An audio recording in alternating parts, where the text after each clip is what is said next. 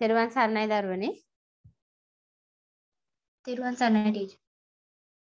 අද අපි 6 වෙනි පාඩම කරන්න ඉන්නේ. පාඩම් පහක් දැම්ම නිබන්ධනත් එක්ක සම්පූර්ණ කරලා කරලා තියෙන්නේ.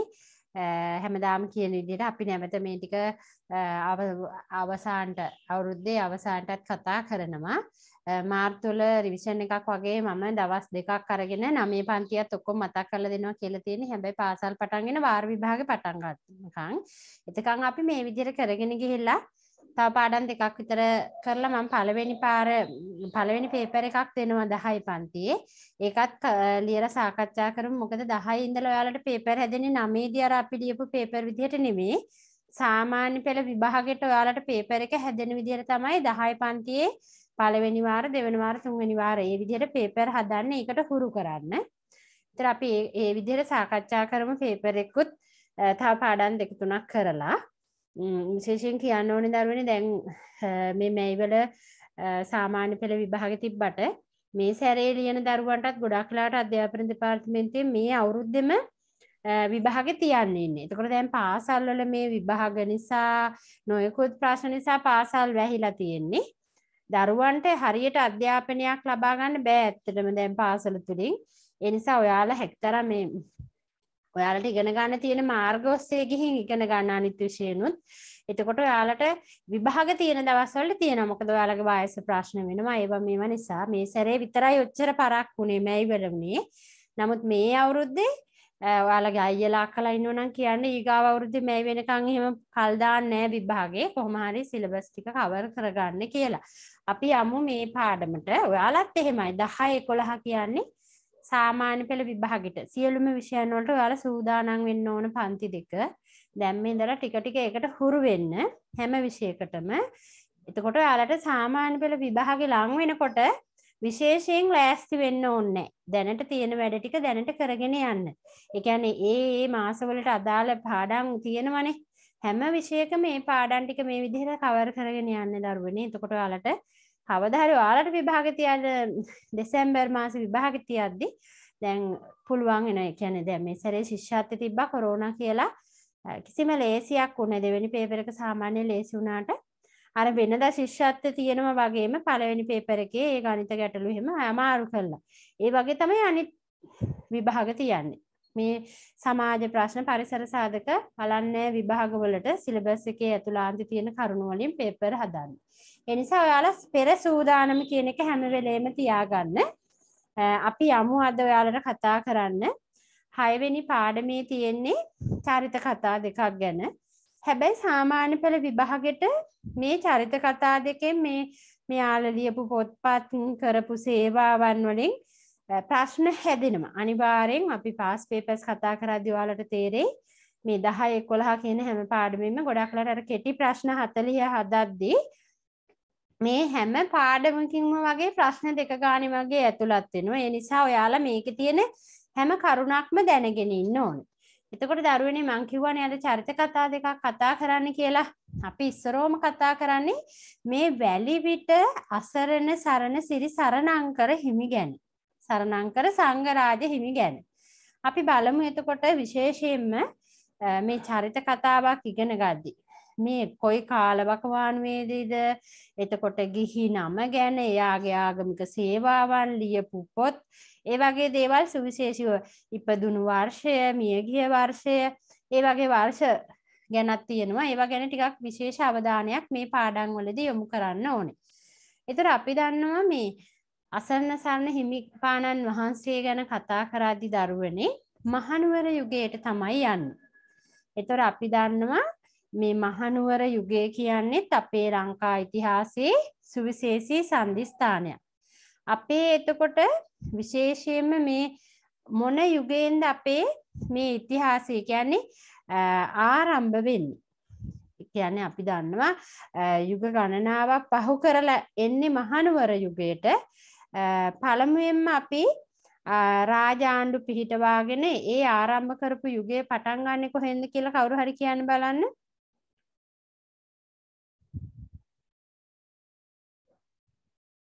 අනුරාධපුර යුගයෙන්නේ අනුරාධපුර යුගයෙන් තමයි පුතාලා ආරම්භ වෙන්නේ.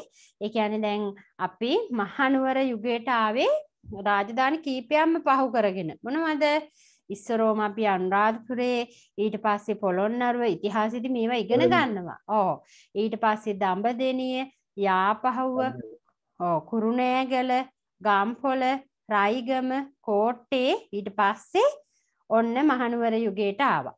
එතකොට විශේෂයෙන්ම මේ එක එක යුගවලදී ගොඩක් හේතුන් වුණා දැන් අනුරාධපුරයෙන් පොළොන්නරුවට මාරු වෙන සොලි ආක්‍රමණ. ඔහොම නොයෙකුත් හේතුන් බලපෑව දරුවනේ මෙන්න මේ විදිහට මේ රාජධානි මාරු කරන්න විශේෂයෙන්ම මේ මහනුවර යුගය වෙනකොට අපේ රට යටත් විජිතවාදයට හසු වෙලා හිටියේ. ඒ කියන්නේ අපේ රට මුලින්ම අපි අපිව යටත් කරගත්ත පෘතුගීසි ඊට පස්සේ ලන්දේසි ඊට පස්සේ ඉංග්‍රීසි නේද අන්න ඒ අල්ලා ගන්න කාලේ ඒ කාලවකවානුවත් එක්ක අපේ රටේ අර තිබ සිංහල සංස්කෘතිය ඒ වගේ දේවල් වෙනස් වෙන්න පටන් ගත්තා.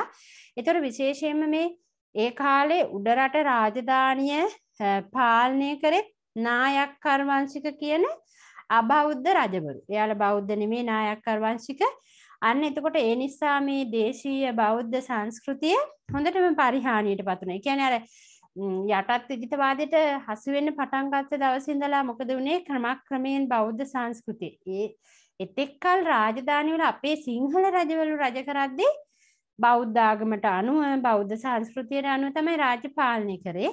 නමුත් මේ යටත් විජිත වාදයක්ත් එක්ක බෞද්ධාගම පිරිහීමකට පත් වුණා. අන්න එතකොට මේ පරිහානියට පත්වුන කාලේදි තමයි දරුවනේ මේ උඩරට තුම්පනේ කියන ප්‍රදේශයේ වැලිවිට නම් කිය ගමේ තුම්පනේ ප්‍රදේශයේ වැලිවිට කියන ගමේ එද්දා සයිසි අනුවටේ ජූනි දහට වෙනිදා මේ සැදහැවත් බුදු කොලයක ඉපදුනා කවද පින්වත් කුමාරයෙක්. එයාගේ ඉපදෙන ගිහි කාලෙදි නම වුණා කුලතුංග බණ්ඩාර කියලා. එතකට ඔය ගිහි නමත් මතක තියාගන්න ප්‍රශ්න විදිහට සාමාන්‍ය පෙළ විභාගට දක්වා එනවා. වැලිවිට අසරණ සරණංකර හිමි සංගරාජ හිමිගේ ගිහි නම තමයි එතකොට මොකක්ද කුලතුංග බණ්ඩාර වෙන්නේ. වයස අවුරුදු දාසේදි සූරියකොඩ විහාරයේදී අන්න අර කුලතුංග බණ්ඩාර කියන ළමයා වැලිවිට සරණංකර හිමි නමින් පැවැදි වුණා. අවුරුදු 16 දී. කියන්නේ 1698 ජූනි 18 වෙලා ඉපදිලා කුලතුංග බණ්ඩාර විදිහට අවුරුදු 16ක් ඉඳලා ඊට පස්සේ මහනුවර සූරියගොඩ විහාරයේදී අවුරුදු 16 දී පැවිදි වුණා. ඒ පැවිදි වෙන කාලෙදි මම කිව්වනේ අර ශාසනය හරියට පරිහානියට පත් වෙලා තිබ්බේ කියලා. එතකොට මේ විශේෂ මේ නිසා අසරණ සන්න සරණංකර හිමිපාණන් වහන්සේට ගුරුවරු හොයාගෙන යන්න වුණා හරි දුෂ්කර විදිහට ඉගෙන ගන්න. බෞද්ධ ආගම ඉගෙන ගන්න පොත්පත් තිබෙනේ. ඒ නිසා ගොඩක් දුර බැහැර ප්‍රදේශවලට ගිහිල්ලා තමයි ගොඩක් දුෂ්කරතා මැද තමයි මේ පාලි භාෂාව ධර්ම විනය මේ වගේ දේවල් ඉගෙන ගන්න සිද්ධ වුණේ. හැබැයි තමන්ගේ උත්සාහයයි කැපවීමයි කිසිම වෙලාවක අත්හැරියේ නැහැ. බලන්න ඉගෙන ගන්න උවමනා කෙනෙක්ට ඒ උත්සාහය කැපවීම තියෙන්න ඕනේ. අසරණ සන්න සරණංකර හිමිපාණන් වහන්සේගෙනුත් අපිට ඒ දේ තමයි තියෙන්නේ. සිංහල පාලි සංස්කෘත බුද්ධ ධර්මයේ කාව්‍ය ශාස්ත්‍රයේ මේ හැම විෂයක් පිළිබඳවම හොඳ දැනුමක් ලබාගත්ත ස්වෝත්සාහයෙන්ම ඉගෙනගෙන. හරිම අල්පේච්ච අල්පේච්ච කියන්නේ සැහැල්ලු ගති පැවතුම් තියෙන හිමි නමක් වුණා මේ අපේ සරණංකර හිමි දරුවනේ යැපුණේ පිඩු සිඟා වැඩලා. ඔයාලා දන්නවනේ පිඩු සිඟා වැඩලා යැපුණා කියන්නේ ගෙයින් ගෙට ගිහිල්ල පාත්‍රයක් අරගෙන ඒ විදිහට තමයි තමන්ට එදාට අවශ්‍ය ආහාර ලබා ගත්තේ. අන්න ඒ නිසා මේ අසරණ සන්න සන්නංකර හිමිපාණන් වහන්සේට පින්ඩ පාතික සරණංකර හිමි කියලා කිව්වා. ඇයි පින්ඩ පාතික සරණංකර හිමි කිව්වේ? ගෙයින් ගෙට ගිහිල්ලා මේ තමයි මෙයා පිඩුසිඟා වැඩලා ආහාර හොයා ගත්තේ. ඊට පස්සේ අපි කතා කරනවා දරුවනේ අපේ හාමුදුරුවෝ තව දෙයක් මේ අසරණ සරණ සරණංකර හිමි කියන නම ලැබුණේ බුද්ධ ශාසනය ගොඩක් කනගාටුදායක තත්ත්වයට පත්වෙලා තිබ්බා ශාසන මාමක භික්‍ෂූන් වහන්සේලා. මෙතනදි සමහර මේ කාලෙදි අර යටත් විජිතවාදයට හසුුණු කාලයේදී සමහර භික්‍ෂූන් වහන්සේලා වගේ සිවුරු ඇඳගෙන අමුදරුවෝ පෝෂණය කළා එතකොට අර ධනවත් රදල පවුල්වලට එක එක නොයකුත් සන්නිවේදන මාධ්‍යයට යොදාගත්තෙත් මෙන්න මේ සිවුරු දාගත්ත පිරිස. අන්න ඒ තරම් පරිහානියට පත් වෙලා තිබ්බා මෙන්න මේ අපේ ශාසනය කියන එක. එතකොට විශේෂයෙන්ම අපේ මේ සරණංකර හිමිපානෝ මේ පරිහානියෙන් සසුන නගා සිටුවන්න හිතුවා. පරිහානියට පත් වෙලා තියෙන්නේ. අන්න ඒ නිසා සිල්වත් සමාගම නමින් සංවිධානයක් පිහිටවා ගත්තා. මතක තියාගන්න එතකොට සරණංකර හිමිපාණන් වහන්සේ තමයි සිල්වත් සමාගම කියලා සංවිධානයක් පිහිටවා ගත්තේ. ඒක කෙටි ප්‍රශ්නයකට අහන්න පුළුවන්. අන්න එතකොට මේ පාගමනින් ගිහිල්ලා ධර්මයේ දේශනා කරලා පැවිදි වෙන්න කැමති අය ඒ සඳහා දැන් පැවිදිවීමට සුදුසු පිරිස ඒවට එයාලට උපදෙස් දීලා මෙන්න මේ විදිහට ගොඩක් ශාසනය වෙනුවෙන් කැප වුණා. බොදු දරුවන්ට ශාසනයට ඇතුළත් වෙලා පැවිදිවීම ඇති වැදගත්කම කියලා දීලා ධර්ම ඥානය පිහිටවලා මේ හැම දෙයක්ම කරා මේ සසුනේ චිර පැවැත්ම වෙනුවෙන්. දරුවනේ හැබැයි මේ ගොඩක් කල් මෙච්චර ශාසනික මෙහෙයක් කරත් අවුරුදු පණහක් වෙනකම්ම සරණංකර හිමිපාණන් වහන්සේට උපසම්පදා වෙන්න විදිහක් තිබ්බේ නැහැ. ඒකට හේතු වෙලා තිබ්බේ උපසප්පන් භික්ෂූන් වහන්සේලා ලංකාවේ එතකොට හිටියේ නැහැ. බලන්න කොච්චර ශාසනය පිරිහිලාද කියන්නේ උපසම්පදා වෙච්ච භික්ෂුවක්වත් ඒ වෙනකොට හිටියේ නැහැ. හැබැයි එතකොට මේ සරණංකර හිමිපාණෝ කීර්තිසී රාජසිංහ රජතුමා එතකොට රාජ්‍ය පාලනය කරේ.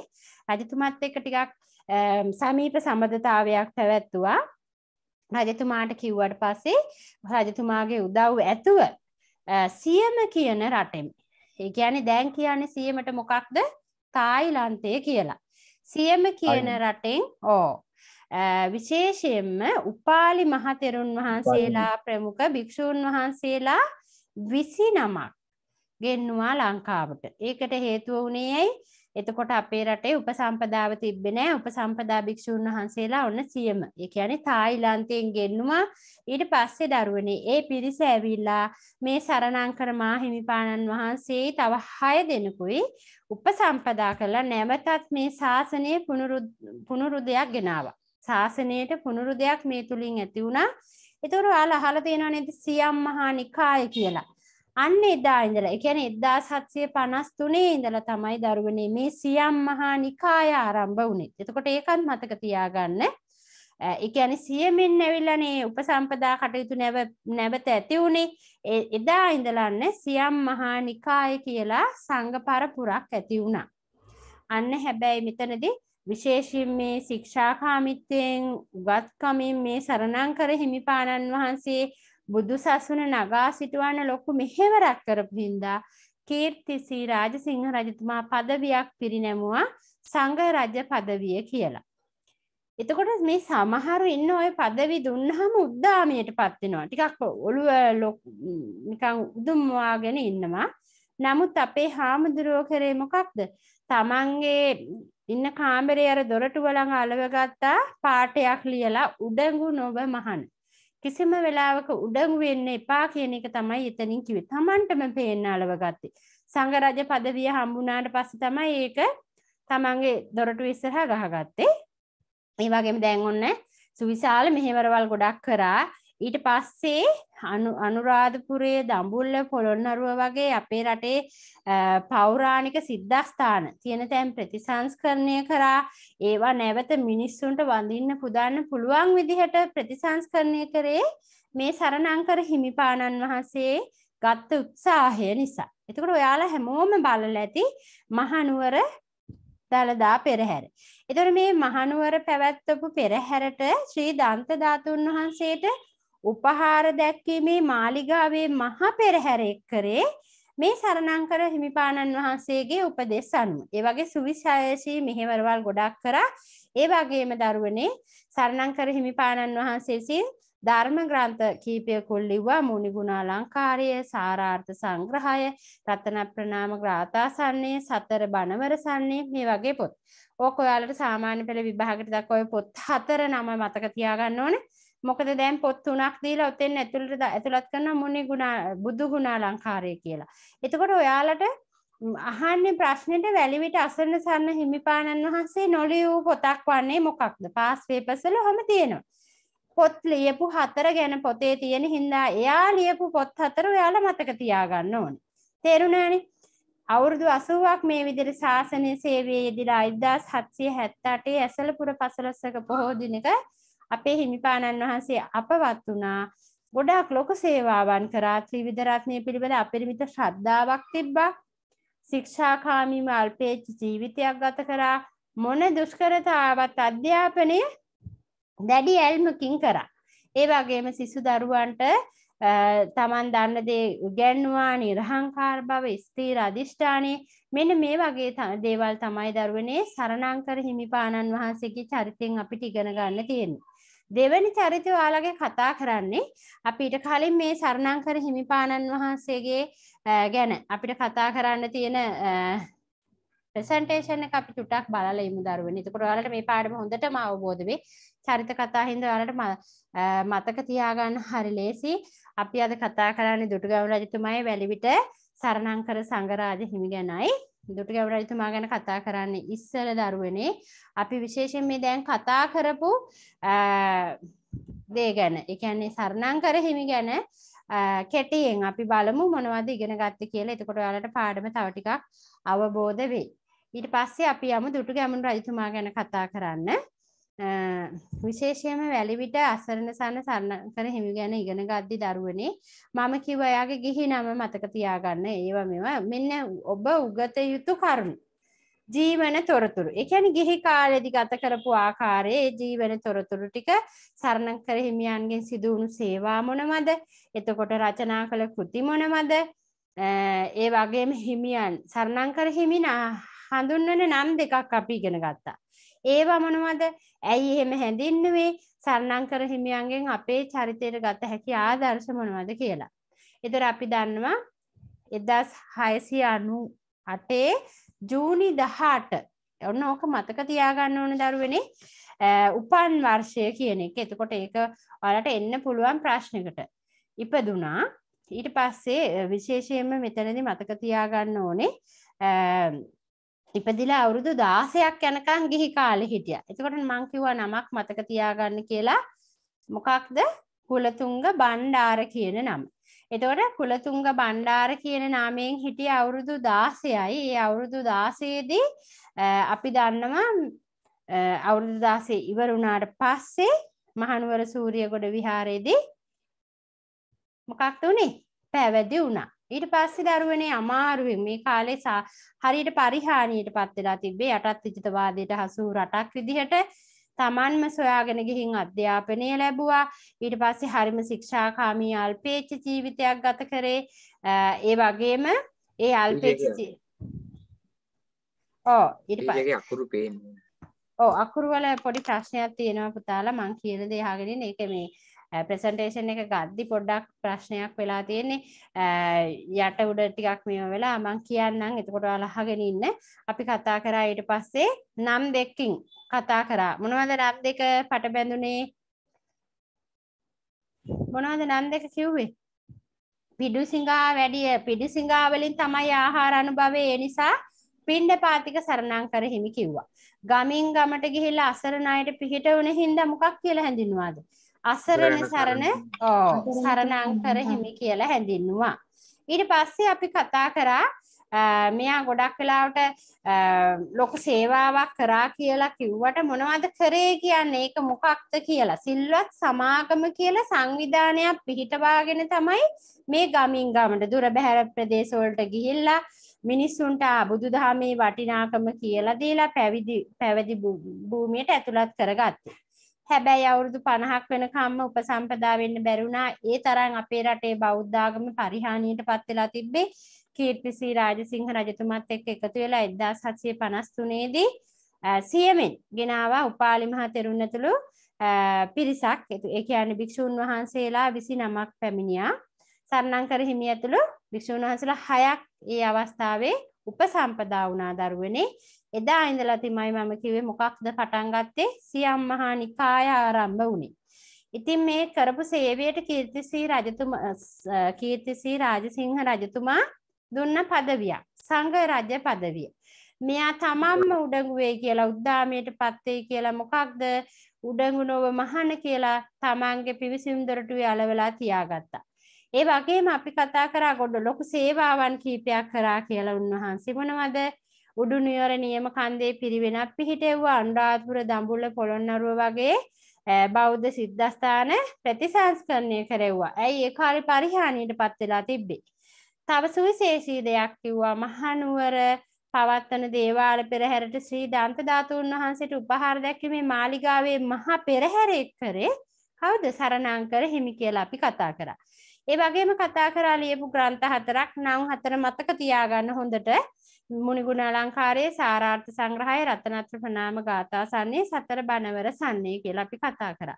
ඊට පස්සේ දරුවනේ අපි කතා කරා මේ චරිතෙන් අපිට ගන්න පුළුවන් ආදර්ශ මොනවද? ත්‍රිවිධ රත්නය පිළිබඳ හොඳ ශ්‍රද්ධාවකින් හිටියා. සැහැල්ලු ජීවිතයක් ගත කරේ. මොන දුෂ්කරතා පැමිණියත් අධ්‍යාපනයට දැඩි ඇල්මක් දැක්වා නිර්හංකාර බව ස්ථීර අධිෂ්ඨානය. ඔය ටික තමයි එතකොට අපි සංඝරාජ හිමි ගැන ඉගෙන ගන්නේ. කෙටි සටහන් එක දැන් නිබන්ධනය සාකච්ඡා කරද්දී ඔයාලට තවත් මතක හිටි. ඕකෙනුත් සාමාන්‍යයෙන් කෙටි ප්‍රශ්නයක් අහනවා දරුවනේ ප්‍රශ්නයක් හෝ දෙකක්. ඒ නිසා ওই පාඩම ඔයාලට විශේෂයි මතක තියාගන්න. ඊට පස්සේ අපි යමු දුටු ගැමුණු රජතුමා ගැන. පොඩි කාලේ ඉඳලා ඔයාලා අහලා තියෙන නිසා මේක හරි සරල පාඩමක්. මතක තියාගන්න ඔයාලට ලේසි. මේකේ මුලින්ම අපි පටන් ගන්නේ දුටුගැමුණු රජතුමාගේ අභීත සටන් පාඨය කියලා. ඉගැන මාගේ මේ ව්‍යායාමයේ බුද්ධ ශාසනයේ චිරස්ථිතිය පිණිස මිස කිසි කලෙකත් රජ සැප පිණිස නොවන්නේ. මම මේ මම මේ කරන දේවල් රජ සැප පිණිස නෙමේ මේ බුද්ධ ශාසනයේ චිර පැවැත්ම වෙනුවෙන් තමයි කරන්න කියන එක තමයි දුටුගැමුණුතුමාගේ සාබීත සටන් පාඨය වුණේ.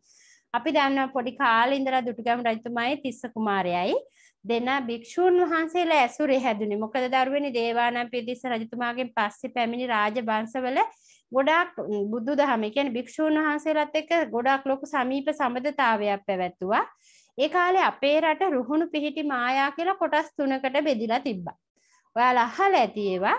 ඊට පස්සේ විශේෂයෙන්ම රුහුණු රජ පෙළපත පාලනය කරේ කාලේ කාවන්තිස්ස රජතුමා. එතකොට කාවන්තිස්ස රජතුමාගේ දේවිය වුණා විහාර මහාදේවිය.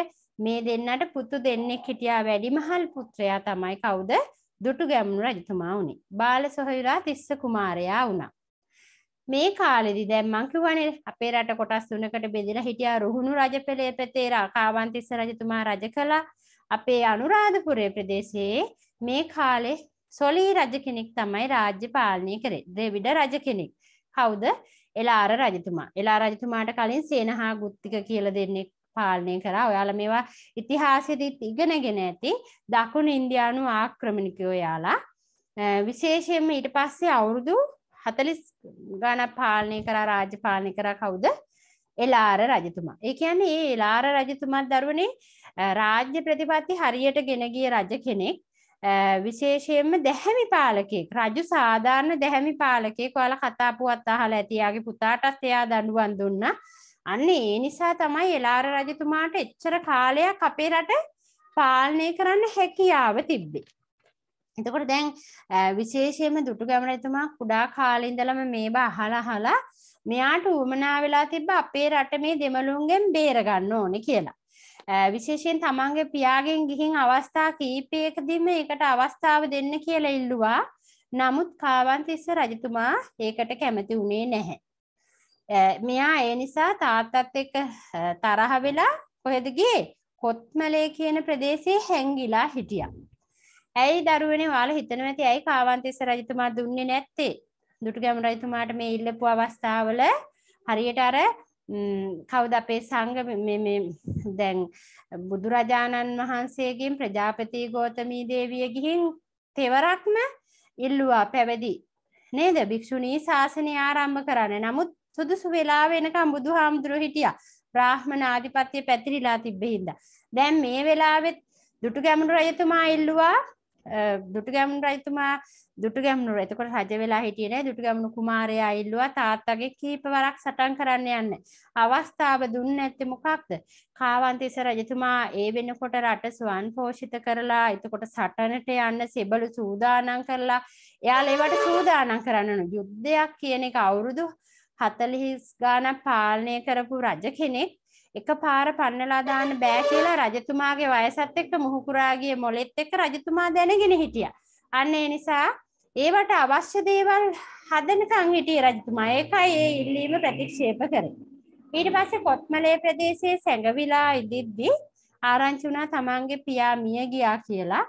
ඊට පස්සේ තමයි ඔන්න පැමිණිලා කොත්මලේ ප්‍රදේශයෙන් පැමිණිලා පිය රජුගේ අභාවයෙන් පස්සේ රුහුණේ පාලකයා වුණා. කවුද? දුටුගැමුණු රජතුමා. ඊට පස්සේ තමන්ගේ අම්මා විහාර මහා දේවී භික්ෂුන් වහන්සේලාගේ ආශිර්වාදය උපදෙස් අරගෙන සේනා සන්නද්ධ කරගෙන ප්‍රාදේශීය නායකයන් පරාජය කරමින් එක පාර ගිහින් සටන් කරේ නැහැ ක්‍රමක්‍රමයෙන් ප්‍රාදේශීය පාලකයන් යටත් කරගෙන අනුරාධපුරයේ විජිතපුර කියන ස්ථානයේ.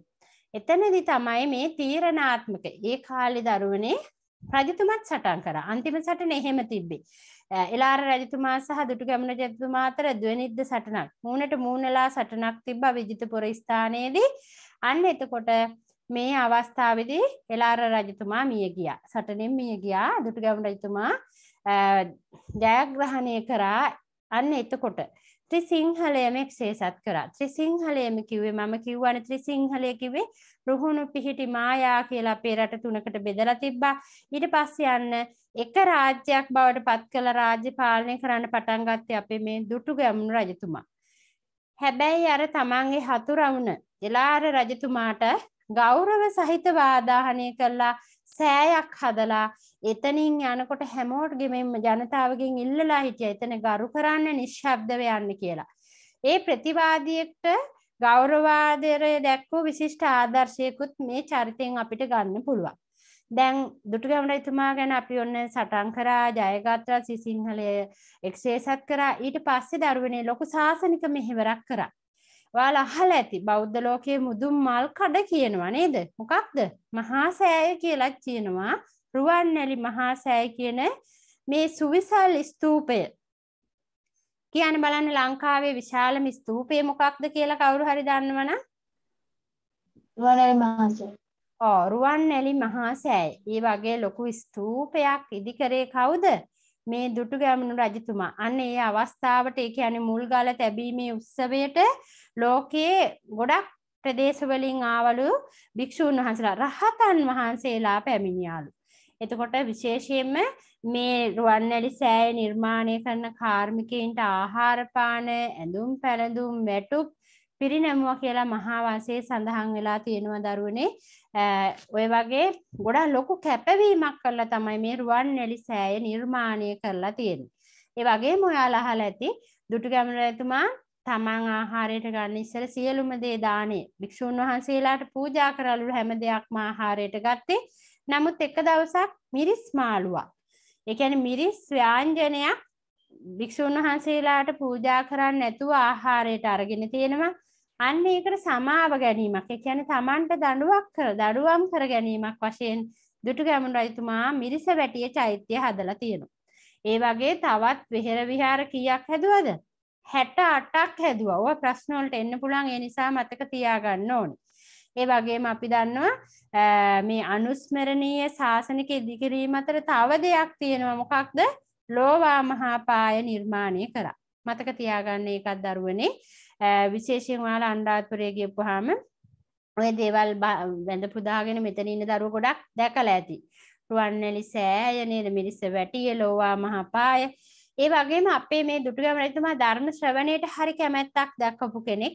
ඒ නිසා තමන් ධර්මයේ ශ්‍රවණය කරා විතරක් නෙමෙයි හැම ගමකම භික්ෂූන් වහන්සේලා යවලා ධර්ම දේශනා පවත්වන්න ක්‍රම යෙදෙව්වා. ඒ වගේම මේ වෙසක් උත්සව ඒ කියන්නේ රාජ්‍ය වෙසක් උත්සව අවුරුදු 24යි දුටුගැමුණු රජතුමා රාජ්‍ය පාලනය කරේ ඒ අවුරුදු 24ට රාජ්‍ය වෙසක් උත්සව 24කුත් පවත්වලා තියෙනවා. තෙරුණානේ මහා වංශයේ තමයි දරුවනේ මේවා සඳහන් වෙලා තියෙන්නේ. ආරෝග්‍ය සේවා පිහිටෙව්වා. එතකොට ගිලන්හල් සේවාවක් ආරම්භ කරා. තව සුවිශේෂී දෙයක් තිබ්බා. දුටු ගැමුණු රජතුමා ලියන හැම දෙයක්ම අපි දැන් ඩයරියක් පාවිච්චි කරලා ලියන්නේ. ඒ වගේ තමන් කරන හැම හොඳ දෙයක්ම පින් පොතක් කියලා පොතක් තියාගෙන ලිව්වා. ඔයාලත් හොඳ වැඩ කරන ඒවා ලියන්න පොතක් තියාගන්න ඒකල බලන්න. ජීවිතේ කවදා හරි බලන්න තියාගන්න තමන් කරපු හොඳ වැඩ මොනවද කියලා ඒ අපි බෞද්ධ වශයෙන් මේ වගේ දේවල් කරන්න ඕනේ. අන්න ඒ වගේ ලොකු සුවිශේෂී මෙහෙයක් කරපු රජතුමා අවසානයේ හදිස්සියේ රෝගාතුර වුණා.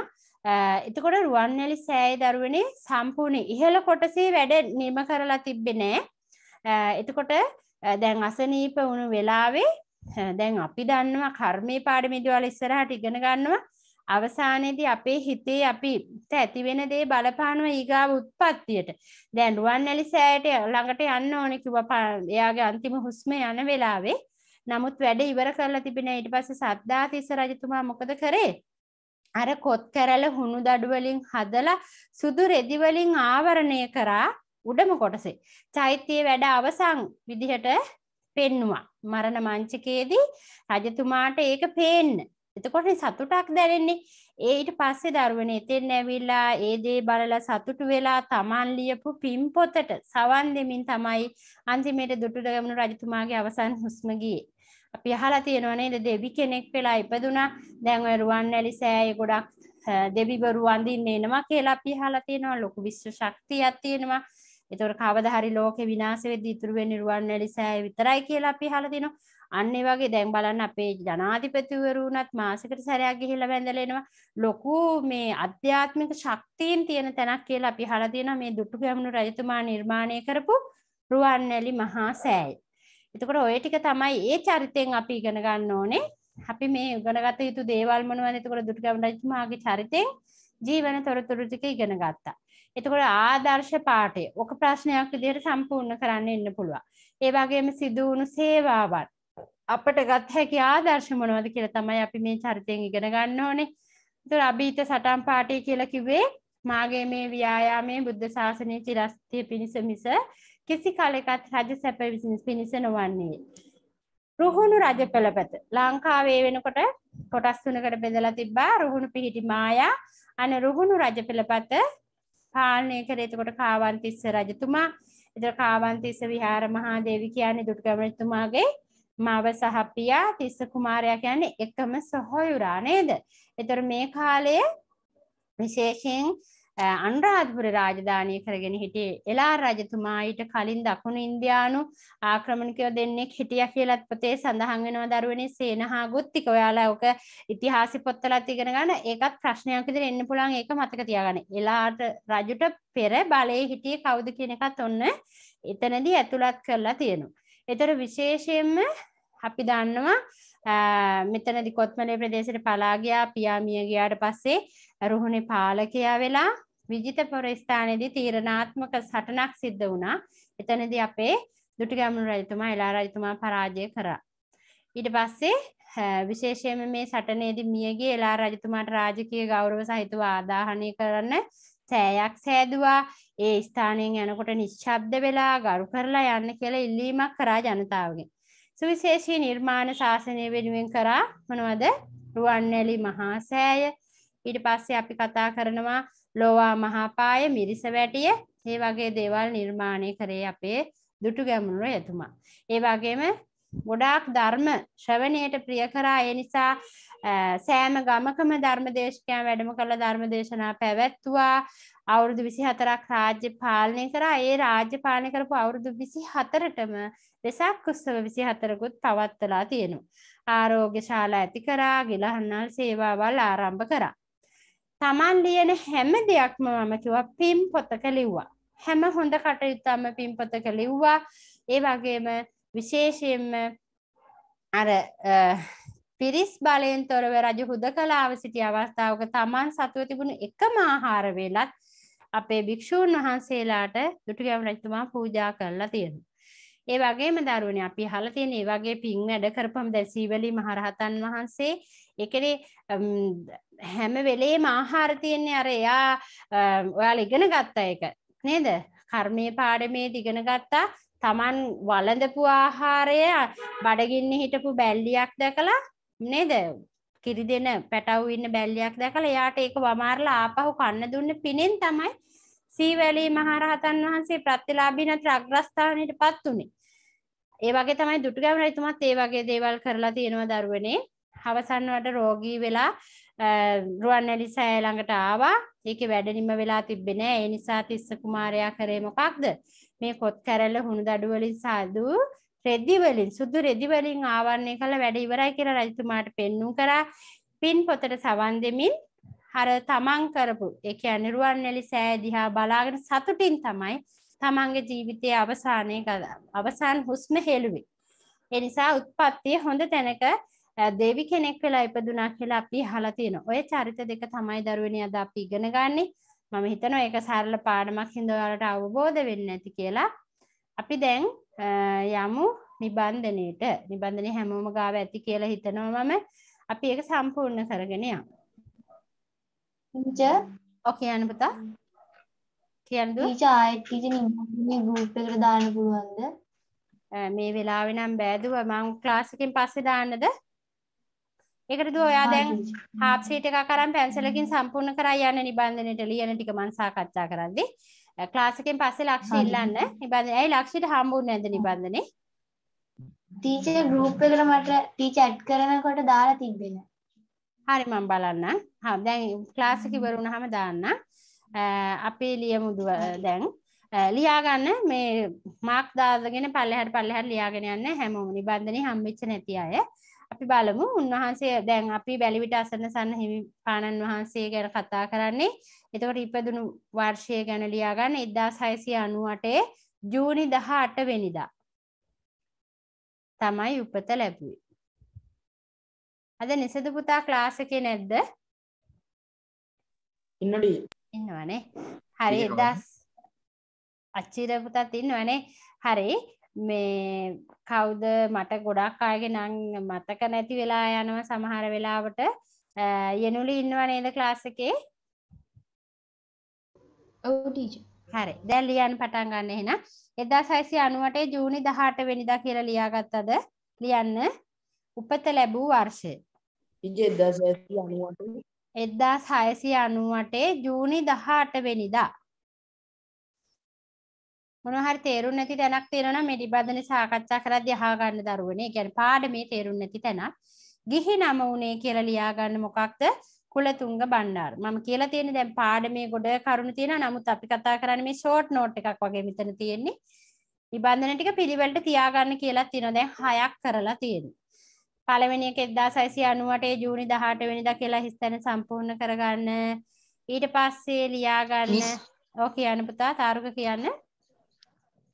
මිස් මම මිස්ගෙන් ප්‍රශ්නයක් අහන්න ඔව් අහන්න. මිස් මං ක්ලාස් එකට අද සම්බන්ධ වුණේ. ආ මිස් මට මිස්ගේ නිබන්ධනයේ ගෲප් එකට සම්බන්ධ වෙන්න විස්තර ටික දැනගන්න පුළුවන්ද? හරි මම අන්තිමට මගේ ෆෝන් නම් WhatsApp නම්බර එක දෙන්නම් පුතා. නිබන්ධනය සාකච්ඡා කරලා ඉවර වෙලා. හරි. දැන් අපි ලියමු ගිහි නම උනේ කුලතුංග බණ්ඩාර. වයස අවුරුදු 16 දී මහනුවර සූරියගොඩ විහාරයේදී වැලිවිට සරණංකර නමින් තමයි එතකොට පැවිදුනේ. කුලතුංග බණ්ඩාර වෙලා අවුරුදු 16ක් හිටියා. ඊට පස්සේ ලියා ගන්න සූරියගොඩ විහාරයේ කියන තැන වැලිවිට සරණංකර නමින් පැවිදි වුණා කියලා. පැවිදි භූමියට ඇතුළත් වුණා. ඔයාලා ලියා පළවෙනි එක ලියා ගන්න පුතා කවිශ පුතා ලියා ගන්න ඉප උපෙදුණු වර්ෂය 1698 ජූනි 18 වෙනිදා.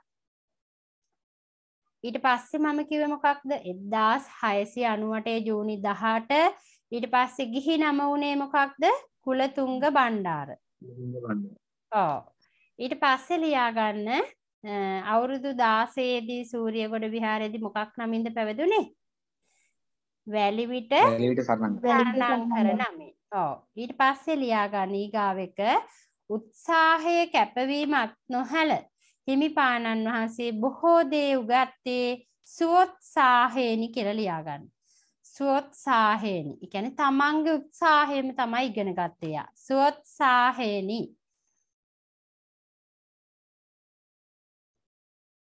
සුවත්සාහයනි කියලා ලියලා හිස්තැන ඩොට් එකක් තියලා ඊට පස්සේ සිංහල කියලා තියෙනවා ඔයාලා ලියාගන්න පාලි සංස්කෘත බුද්ධ ධර්මයේ කාව්‍ය ශාස්ත්‍රය. පාලි සංස්කෘත බුද්ධ ධර්මය කාව්‍ය ශාස්ත්‍රය.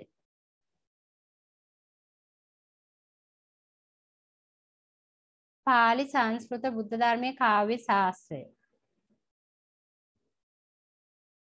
ඒවා තමයි එතකොට හිමිපාණන් වහන්සේ ඉගෙන ගත්ත අනෙකුත් විෂයන්. අපි දැන් අපි වුණත් මේ සම්බන්ධ බුදුදහම සම්බන්ධ විශේෂ උපාධයක් කරාදි මේ වගේ දේවල් ඉගෙන ගන්න ඕන දරුවනේ. එතකොට ඒ පිළිබඳ දැනුම ලැබෙන්නේ එතකොට. ඊගාවට අපි යන් ඊගාවකට ශික්ෂාකාමී අල්පේච්ඡ ජීවිතයක් ගත කිරීමට කැමති වූ බැරි විට සන්නංකර හිමිපාණන් වහන්සේ පැවැදි වූ දා සිටම යැපුණේ පිළිසිඟා වැඩීමෙන්. ඒ නිසාන්න මේ පටබැඳි නම් දෙක ප්‍රශ්නයක් විදිහට අහන්න පුළුවන් ඒකයි මේක දීලා තියෙන්නේ.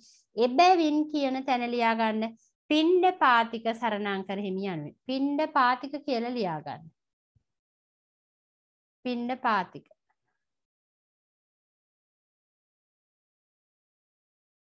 එතකොට සරණංකර හිමි ඔන්න පින්ඩ පාතික හිමි වුණේ කොහොමද කියලා මෙතන දැන් ලිව්වනේ. ඊට පස්සේ ගමින් ගමට වඩමින් දහම් දෙසවලා අසරණීන්ට පිහිට වුණ නිසා අසරණ සරණ සරණංකර හිමි යන නමින් හැඳින්වෙනවා. මොකක්ද? අසරණ සරණ සරණංකර හිමි.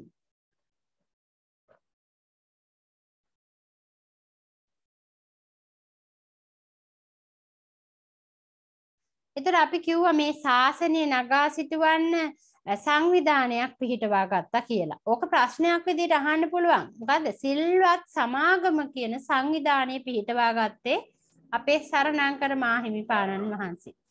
මොකක්ද? සිල්වත් සමාගම.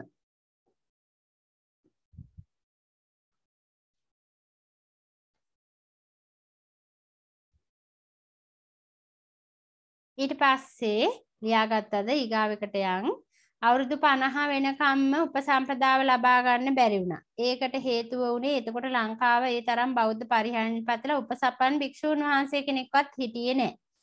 එතකොට අතර හිමිපානෝ කියලා තියෙන තැන් ලියාගන්න කීර්තිසී රාජසිංහ රජතුමාගේ උදව්වෙන් ඒ කාලේ රාජ්‍ය පාලනය කරේ කීර්තිසී රාජසිංහ රජතුමා ලියාගන්න එතන කීර්තිසී රාජසිංහ රජතුමා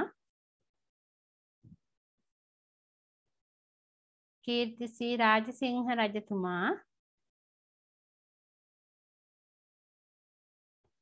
උදව් කරාන ඊට පස්සේ භික්ෂූන් වහන්සේලා වැඩම කර ගැනීම සඳහා දූත පිරිසක්. කොහාටද යව්වේ දරුවනේ? දූත පිරිසක් ගෙන්නුවේ කොහෙන්ද? සියම කියලා ලියලා වරහන් ඇතුලේ තායිලන්තය කියලා ලියාගන්න. සියම හෙවත් තායිලන්තේ තමයි මේ පිරිස ගෙන්වේ උපසම්පදා මේ තිබ්බේ නැති හින්දා ඒක පරිහානියට පත් වෙලා තිබ්බ හින්දා. ඊට පස්සේ සියම් රජතෙමේ කියන තැන ලියාගන්න උපාලි මහතෙරුන් වහන්සේ ප්‍රමුඛ උපාලි මහතෙරුන් කියලා ලියාගන්න සියම් රජතෙමේ කියන තැන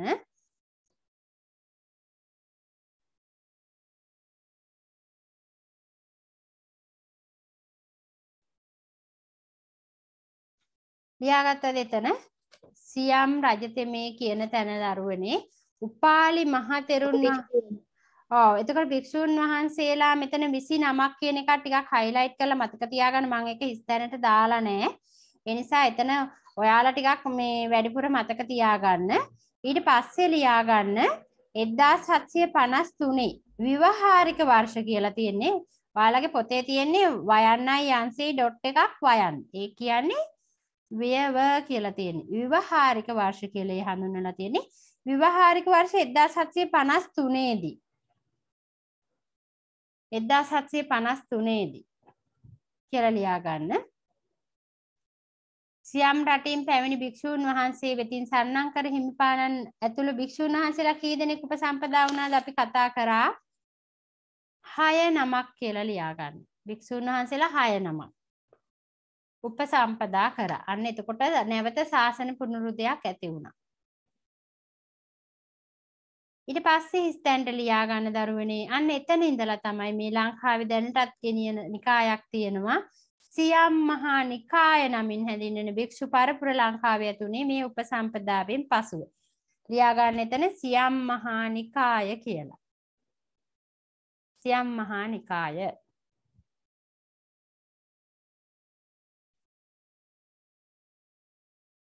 ඊට පස්සේ එකට යන් කීර්තිසී රාජසිංහ රජතුමා උගත්කමින් හා ශික්ෂාකාමිත්වයෙන් අගතැන්පත් සරණංකරේ ස්වාමීන් වහන්සේට පදවියක් දුන්නා. මොකක්ද සංඝ රජ පදවිය කියලා ලියාගන්න. ඔව් සංඝ රජ පදවිය.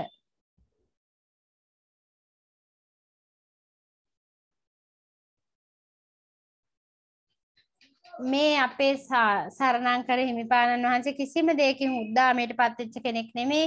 අන්න ඒ නිසා මේ පදවිය හම්බුනහම එයා තමන්ගේ පිවිසෙන දොරටුවේ ලිව්වා ලියාගෙන දොරටුවේ ගැහුවා මොකක්ද? උඩඟු නොව මහන කියලා ලියා ගන්න. උඩඟු නොව මහන කියලා ලියලා තල්පතක ලියා ඒක ඇලෙව්වා. තමන්ටම පේන්න අලව ගත්තේ. උඩඟු නොව මහන.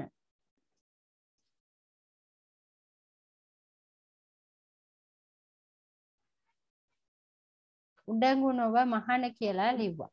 ඊට පස්සේ ලියා ගන්න උඩුනුවර නියම කන්දේ පිරිවෙන පිහිටවීමෙන් හා අනුරාධපුරයේ දඹුල්ල පොළොන්නරුව කියලා ලියා ගන්න. අනුරාධපුරයේ දඹුල්ල පොළොන්නරුව. මේවා රාජ කාලේ ඊට පස්සේ සොලී ආක්‍රමණ නොයෙකුත් යටත් විජිතවාදයට හසු වුණ නිසා විනාශ වෙලා තිබේ. ඒවා ප්‍රතිසංස්කරණය කර අනුරාධපුරයේ පොළොන්නරුව දඹුල්ල පොළොන්නරුව. ඒ වගේ සිද්ධාස්ථාන ප්‍රතිසංස්කරණය කරා. ඊට පස්සේ ලියා ගන්න තව සුවිශේෂී දෙයක් වුණා අපි කතා කරා මහනුවර පැවැත්වුණු දේවාල පෙරහැරට ශ්‍රී දාන්ත ධාතුන් වහන්සේට උපහාර දැක්වීමේ මාලිගාවේ මොකක්ද?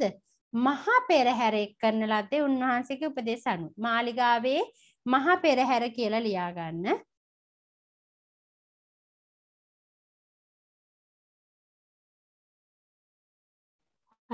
හරි. එතකොට අවුරුදු 80ක් ලෝක ශාසනයේ සේවයේ යෙදුණු උන්වහන්සේ විවාහාරික වර්ෂ 1778 ඇසලපුර පසළොස්වක පොහෝ දිනක අපවත් වුණා. ඒක ලියා ගන්න. ඇසලපුර පසළොස්වක පොහෝ දිනක අපවත් වුණා කියලා ලියා ගන්න. ටීචර් වර්ෂ මොකක්ද පුතා? නැසද පුතා ඇහුන්නේ 1778. හරි.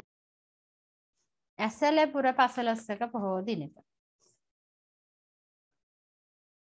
දුටුනාගමුණු රජතුමා ගැන නිබන්ධනය මම ටිකයි දීලා තියෙන දරුවනේ. ඒකට හේතුව මේක දැන් ගොඩක් වෙලාට මේ ඒ වාර්ෂික ඒ ටික මතක තියාගත්තාම ඔයාලට මේක ගොඩක් වෙලාවට සාමාන්‍ය පෙළ විභාගෙට මේ දුටුගැමුණු රජතුමා ගැන එහෙම ලියන්නේ අර කෙටි සටහන් කියලා අවසාන ප්‍රශ්නයක් තියෙනවා. Tamanට සුදුසු කෙටි සටහන් දෙකක් තෝරගෙන Taman කැමති දෙකක් ලියන්න පුළුවන්. ඒ කියන්නේ කෙටි සටහන් ලියන්න ප්‍රශ්නයක් එනවා අවසාන ප්‍රශ්නේ. සාමාන්‍ය පෙළ විභාගේ 7 වෙනි ප්‍රශ්නේ ඉන්නේ කෙටි සටහන් ලියන්න කියලා මාතෘකා හතරක් දෙනවා.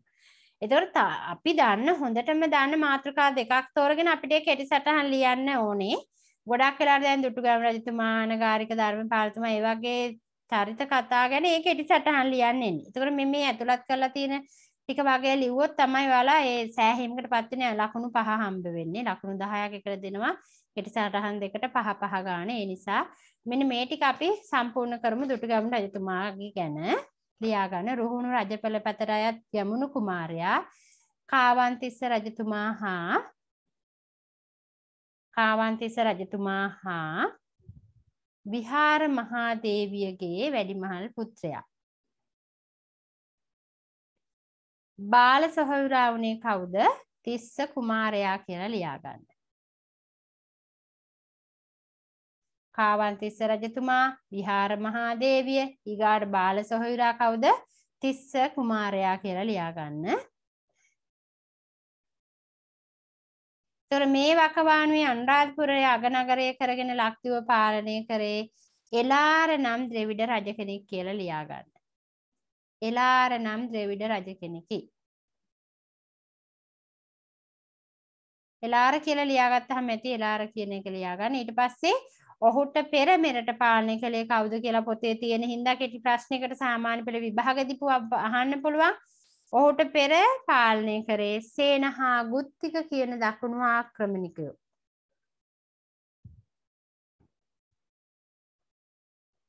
ටීචර් ආයෙත් ඒක කියන්නකෝ.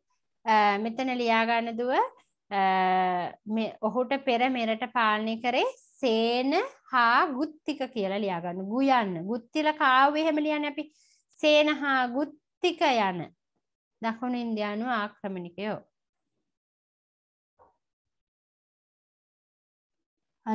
හරි. පියපුතු ගැටුමෙහි ප්‍රතිඵලයක් ලෙස කුමරු කාලයක් තාත්තාගෙන් ඇහුව ඇහුවා දුන්නේ සටන් කරන්න යන්නේ ඒ නිසා තරහ වෙලා ගිහිල්ලා කොහෙද සැඟවිලා හිටියේ කියලා ප්‍රශ්නයක් අහන්න පුළුවන්නේ පියාගෙන් ඈත් වෙලා කොත්ම- කොත් ඔව් කොත්මලේ ප්‍රදේශයේ කියලා ලියා ගන්න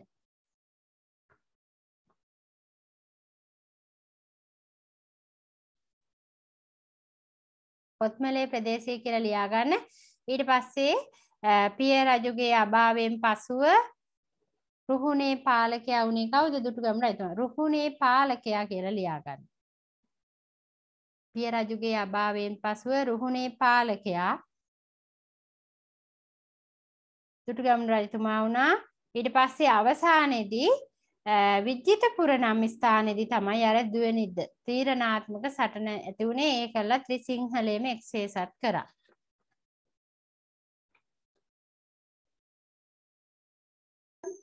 මොකද හරි. තියෙන්නේ?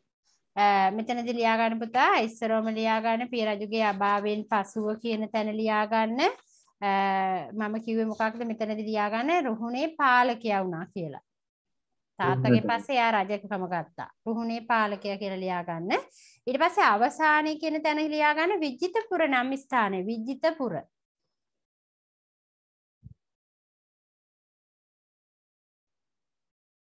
ඊට පස්සේ ඔයාලා ප්‍රශ්නයක් ලියා ගන්න දරුවනේ.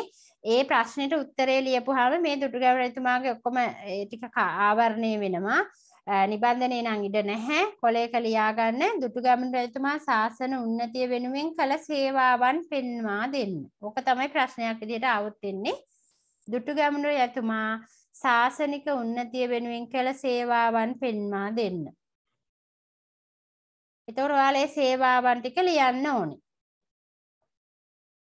පොතකුත් තියාගන්න. නිබන්ධනේ දැන් ඔයාලා මම මෙහෙම ප්‍රශ්න දෙනවා. සමහර පාඩම් වල එදා මට අර විදර්ශනා පාඩමේ තියෙන ඔයාලට ප්‍රශ්න ටිකක් දෙන්න. මේ වගේ වෙලාව තියෙන වෙලාවට ඒ ප්‍රශ්න දෙනවා මං. දුටුගැමුණු දුටුගැමුණු රජතුමා ශාසන උන්නතිය වෙනුවෙන් කළ දුටුගැමුණු රජතුමා ශාසන උන්නතිය වෙනුවෙන් කළ සේවාවන් පෙන්වා දෙන්න.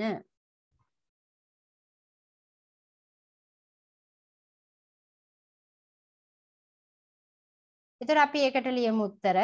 අ, ස- කටුවට හරි ලියාගෙන පොතේ පොතේ ඇතුළත් කරගන්න highlight කරලා ඔය දෙන ප්‍රශ්න හැම පාඩමකටම අදාළ සාමාන්‍ය පෙළ විභාගෙදී සාමාන්‍යයෙන් අහන ප්‍රශ්න ඔය ලියවෙන්නේ. ඒ නිසා ඒව වැදගත්.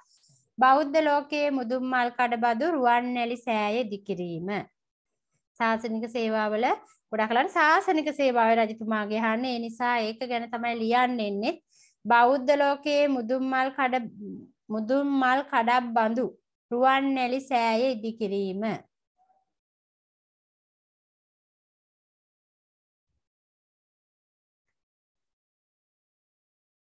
ඊට පස්සේ ලියාගන්න. ලෝවා මහාපාය මිරිස වැටිය හා තහ තවත් වෙහෙර විහාර 68ක් ඉදිකිරීම ලෝවා මහාපාය මිරිස වැටිය හා තවත් වෙහෙර විහාර 68ක් ඉදිකිරීම ඊජයමත් එක් කියන්න පුළුවන්. හරි ලෝවා මහාපාය මිරිස වැටිය හා තවත් වෙහෙර විහාර 68ක් විවිධ ප්‍රදේශවල ඉදිකිරීම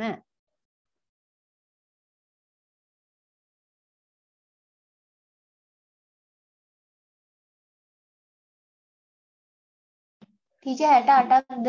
ඕ 68ක් පැවැත්ති 68ක් හැදුවා තව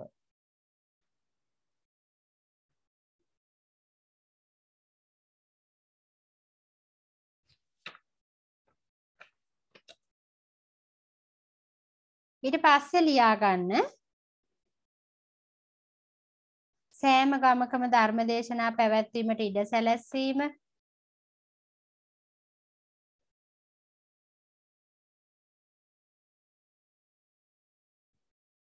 සෑම ගමකම ධර්මදේශනා පැවැත්වීමට ඉඩ සැලැස්වීම වෙසක් උත්සව 24ක් පැවැත්වීම. රාජ්‍ය කාලයත් අවුරුදු 24යි ඒකත් මතක තියාගන්න. වෙසක් උත්සව 24ක් පැවැත්වීම. ටීචර් ඒකට කලින් කියපු ආයෙත් පොඩ්ඩක් කියන්නකෝ. අ, සෑම ගමකම සෑම ගමකම ධර්ම දේශනා පැවැත්වීමට ඉඩ සැලැස්වීම ටීචර් රාජ්‍ය කාලයත් අවුරුදු 24යිද? ඔව් රාජ්‍ය කාලයක් පුතා අවුරුදු 24යි කෙටි කාලයක් දුටු ගැමුණු රජතුමා රාජ්‍ය පාලනය කරේ. වෙසක් උත්සව 24ක් පැවැත්වීම තමන් විසින් කරන ලබන ඊගාවක ලියා ගන්න තමන් විසින් කරන ලබන සියලුම ක්‍රියා පින් පොතක ලියා තැබීම. තමන් විසින් කරන ලබන සියලුම ක්‍රියා පින් පොතක ලියා තැබීම. ඔය ටික ලියපුවාම ඇති. ඊට අමතරව ඔයාලා මතක තියාගන්න දරුවනේ සාමාන්‍ය පෙළ විභාගයට මෙන්න මේ වගේ ප්‍රශ්නයක් අහලා තිබ්බා. අ, අනුරාධපුරේ මහමෙවුනා උයන මිහිඳු හිමියන්. ඒ කියන්නේ මිහිඳු හිමියන් දේවානම්පියතිස්ස මහරජතුමා අරමුණු කරගෙන මහා විහාරය හැදුවනේ. ඒ කියන්නේ දේවානම්පියතිස්ස රජතුමා මහමෙවුනාව පූජා කරා මිහිඳු හිමියන්ට. ඊට පස්සේ ඒකේ මහා විහාරය හැදුවා. එතකොට මේ මේ මේ ස්ථානය වඩාත් අංග සම්පූර්ණ ලෙස විවිධ ගොඩනැගිලි වලින් යුක්තව දැකුම් කලු සුවිසල් බෞද්ධ මධ්‍යස්ථානයක් බවට පත් කරේ මොන රජතුමාද කියලා ප්‍රශ්නයක් සාමාන්‍ය පෙළ විභාගේ අපි පාස් පේපර්ස් කරද්දී ඔයාලට පෙනේ ඕක අහලා තිබ්බා පාස් පේපර් එක. කියන්න බලන්න. ආ එතකොට දුට්ටු ගැමුණු රජතුමා තමයි දරුවනේ අර දේවානම්පියතිස්ස රජතුමා මහමෙවුනාවේ මහා විහාරයේ ඉදි කරා ඊට අමතරව දැකුම් කළු සුවිසල් බෞද්ධ මධ්‍යස්ථානයක් බවට පත් කරේ ස්ථානය දුටු ගැමුණු රජතුමා විසින් කියන එක ටිකක් ඔළුවේ මතක තියාගන්න. කැමති නම් ඒකත් කෙටියෙන් ඔයාලා ලියා ගන්න. එතකොට අද ওই ටික තමයි අපි කතා කරන්නේ. අද පාඩම ඉවරයි නිබන්ධනි සාකච්ඡා කරා. අ, මේක හරි සරල පාඩමක්. කලින් විදර්ශනා භාවනාව එහෙම තමයි ටිකක් මතක තියාගන්න අමාරු. මේ හැබැයි මේ ප්‍රශ්න මේකෙනුත් ඔයාලට පේපර් එකට අහනවා. ප්‍රශ්න දෙක තුනක් අහන කෙටි ප්‍රශ්න අහන තැන්. මෙහෙම කතා කරගෙන යද්දී ඔයාලට හරිම ලේසි වෙයි. ඊගාව පාඩම අපි අ, හත්වෙනි පාඩම තියෙන්නේ ඒක ලබන සතියේ කතා කරනවා. හැමෝම අද වෙලාවටම පන්තියට එන්න අර පුතෙක් ඇහුවා මගේ නම්බර එක අ, Uh, WhatsApp නම්බර එක 0.77 එකසිය හැටාටයි එකසි අනුපහ බිඳුවයි හතයි හතයි බිඳුවයි එකසිය හැටාටයි එකසි අනුපහ එකට වත්සැම් මැසේජ් එකක් දාන්න. වසර නම පාසල ඒ ටික දාලා. එතොට මං සම්බන්ධ කරගන්නම් පන්තියට. අ, ලියාගන්න ඇති කියලා මම හිතනවා. බිඳුවයි හතයි හතයි බිඳුව එකසි හැටට එකසි අනූ පහ නිබන්ධනේ මම. දැන් තව ටිකකින් දැම්ම නෙවේ අ, ලක්ෂිට නිබන්ධනේ හම්බුන්නේ නැහැ කිව්වා. නිබන්ධන හම්බෙච්ච නැති අය මට මැසේජ් එකකින් ඉල්ලන්නේ නිබන්ධනේ දෙන්න. එහෙනම් අදට පන්තිය නවත්තනවා. හැමෝටම තෙරුවන් සරණයි. තෙරුවන් සරණයි ටීචර්. තෙරුවන් සරණයි ටීචර්. අයිබෝන්